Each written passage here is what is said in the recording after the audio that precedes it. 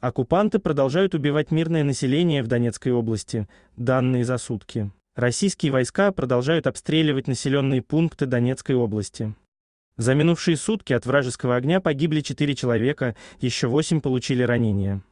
Об этом сообщает РБК Украина со ссылкой на телеграм главы Донецкой ОВА Павла Кириленко. За 12 июля россияне убили 4 мирных жителей Донбасса. Два в Авдеевке, один в Бахмуте и один в Часовом Яру, сообщил он. Отмечается, что с начала полномасштабной войны в Донецкой области погибли по меньшей мере 606 человек, еще 1560 получили ранения. Данные указаны без учета жертв в Мариуполе и Волновахе. Напомним, российские войска за ночь обстреляли из РСЗО Никопольский район Днепропетровской области. Под удар попали две громады – Красногригорьевская и Мировская. В результате чего без света остались около 6 тысяч человек. Подписывайтесь на наш YouTube-канал, чтобы оставаться в курсе важных новостей. Также под видео вы найдете ссылку на скидки на AliExpress. Спасибо за просмотр.